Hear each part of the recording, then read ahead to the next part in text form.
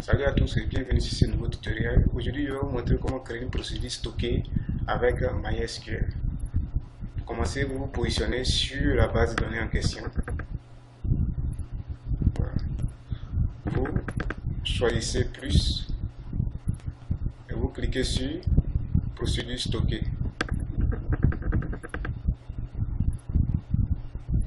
Vous cliquez sur ajouter une procédure.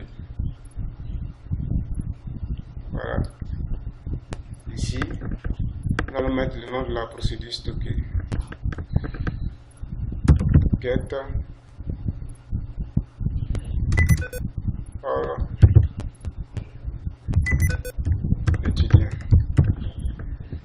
C'est une procédure stockée. Et nous n'allons pas mettre de paramètres. Donc on va juste faire un select. Et donc on va écrire, euh, on peut mettre un begin. Et à l'intérieur du begin, on met notre requête select.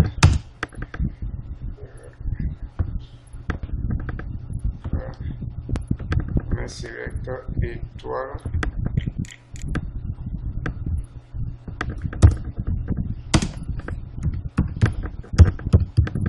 From étudiant.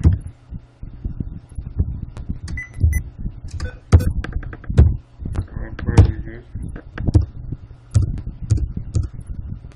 Ici on met end.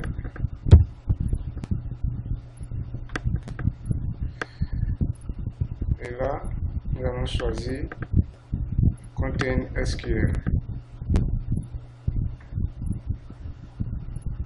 Ensuite, vous cliquez sur exécuter. Cliquez sur exécuter. Voilà, ici vous voyez la requête de création de procédures stockées qu'on a ici. Vous voyez create procedure get. Voilà, puis on met, on ouvre la parenthèse, on ferme la parenthèse. Ici, nous n'avons pas mis de paramètres. Voilà pourquoi on a ouvert la parenthèse on a fermé simplement la parenthèse sans paramètres. Voilà. Et ici, on constate que la procédure stockée a été créée ici. C'est la procédure stockée qui s'appelle get all, get all étudiant. Vous pouvez exécuter cette procédure stockée. Vous cliquez sur exécuter. Voilà. Et vous constatez que les données s'affichent correctement ici.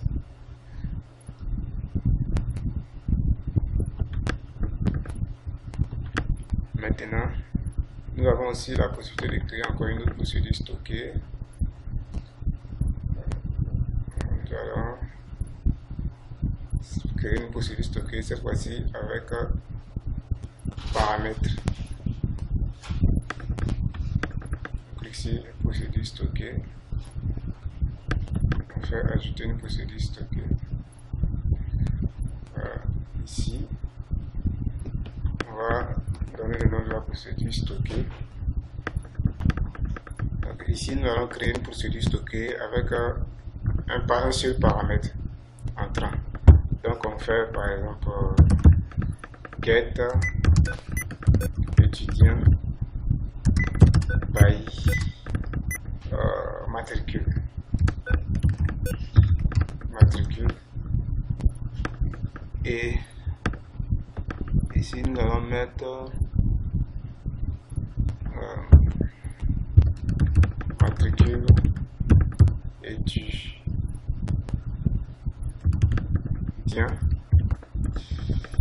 de type Vacha taille nous allons prendre on va prendre 20 par exemple voilà.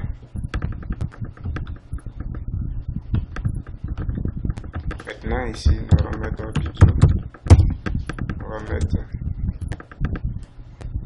euh, select étoile format étudiant where ID non where matricule matricule études hein, égal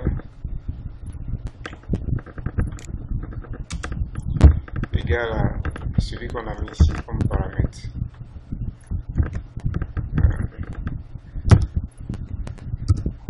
On fait end et on met point virgule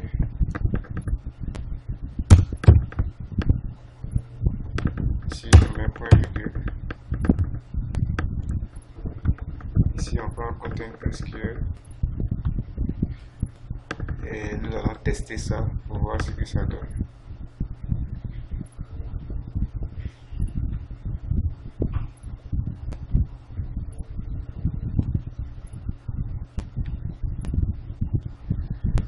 Vous cliquez sur exécuter.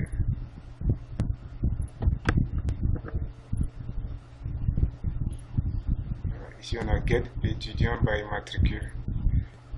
Et donc lorsqu'on va saisir le matricule de l'étudiant, il doit nous afficher les informations qui sont en, rapport avec cet étudiant. Comme ça, la requête, la procédure stockée doit fonctionner. Et donc, cette procédure stockée, on va cliquer sur. Il y a un matricule, bon, on va aller chercher le matricule là qu'on va renseigner. Parce qu'on n'a pas la liste des matricules en tête. On a matriculé ici, par exemple, les 78 Y54. On va les copier. On vient dans. On vient, on vient ici. Procédé stocké. On vient ici. Et on vient là. Valeur. On colle la valeur. On fait exécuter. Normalement, il doit nous afficher euh, les informations qui sont en rapport avec euh, ce, cet étudiant. Voilà, il a affiché les informations en rapport avec cet étudiant. Donc, euh, nous avons fait, on va faire nos tests. On clique, et on met n'importe quoi, on valide. Voilà, il n'a rien affiché, c'est normal, puisque cet étudiant n'existe pas dans la base de données le premier étudiant, celui-là, par exemple, il existe dans la base de données. Donc, normalement, quand on fait exécuter, on doit voir les informations de, cet étudiant-là. Voici les informations qui sont là. Et donc, nous avons créé une procédure stockée sans paramètres. Nous avons créé une procédure stockée avec euh, un paramètre entrant. Et donc, euh, ce que nous allons voir maintenant, c'est de créer une procédure stockée avec paramètre entrant et paramètre paramètres entrant et paramètres sortant.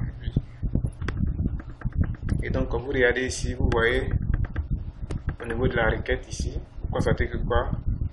On met 7 arrobas PO égale le matricule. Hmm? Le PO, ça c'est la variable. Hein? Ça c'est la variable égale euh, le matricule. Et pour appeler une procédure stockée, c'est la commande call on met call et on met le nom de la procédure stockée en parenthèse à l'intérieur de la parenthèse. Puisque nous avons utilisé les paramètres, on met ce, ce, ce, ce paramètre là à l'intérieur et il nous affiche ça. Ça va? Maintenant, nous allons créer une procédure stockée avec un paramètre entrant et paramètre sortant. Pour cela, nous allons cliquer sur procédure stockée et puis nous allons faire ajouter une procédure. Et nous allons mettre get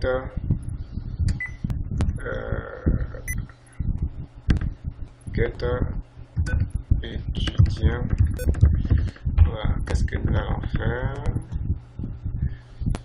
Euh, étudiant lorsqu'on sélectionne voilà, ici nous allons créer une procédure, cette procédure par exemple get nb étudiant by sexe. Hmm? Voilà. Il va afficher le nombre d'étudiants par sexe. Ça va? Ici, on allons mettre euh, euh, sexe, le paramètre sexe, sexe et tu.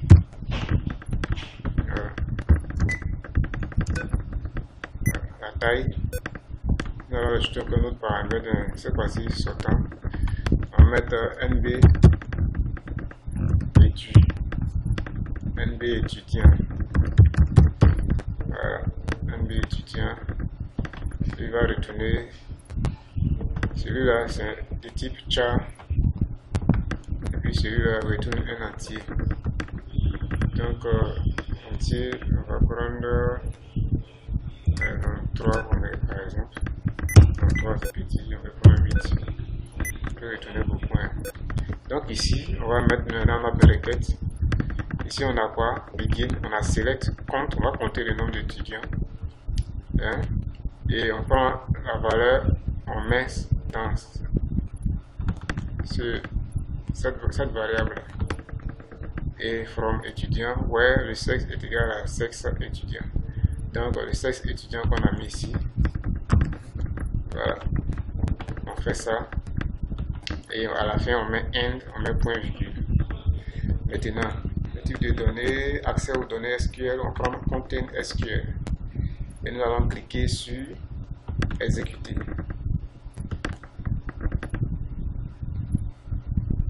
Il dit quoi Que procédé a échoué. Pourquoi? Sexe.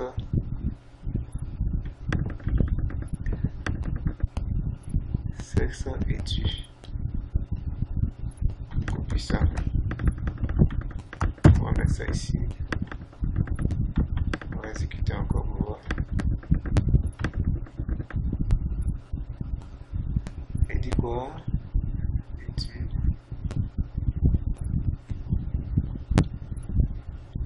Mode déterminé, scrutin, est-ce que est-ce que c'est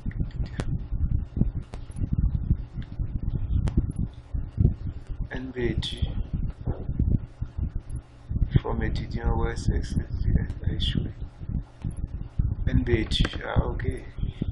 Donc NB étude. Ah, ok, moi j'ai mis NB étudiant ici. Ok, donc NB étudiant. Voilà. Je pense que ça peut passer maintenant.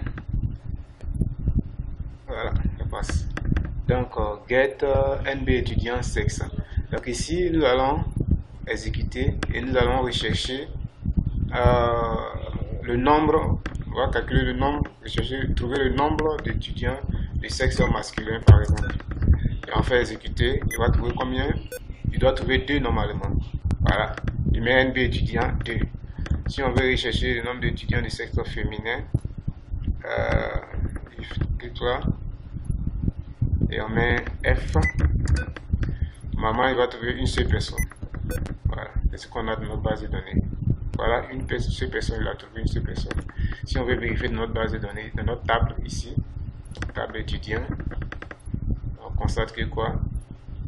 Il y a deux personnes de sexe masculin et une personne de sexe féminin. Voilà, voilà un peu ce que je pouvais vous expliquer sur les procédures stockées. Donc, je vous remercie et à bientôt pour un nouveau tutoriel.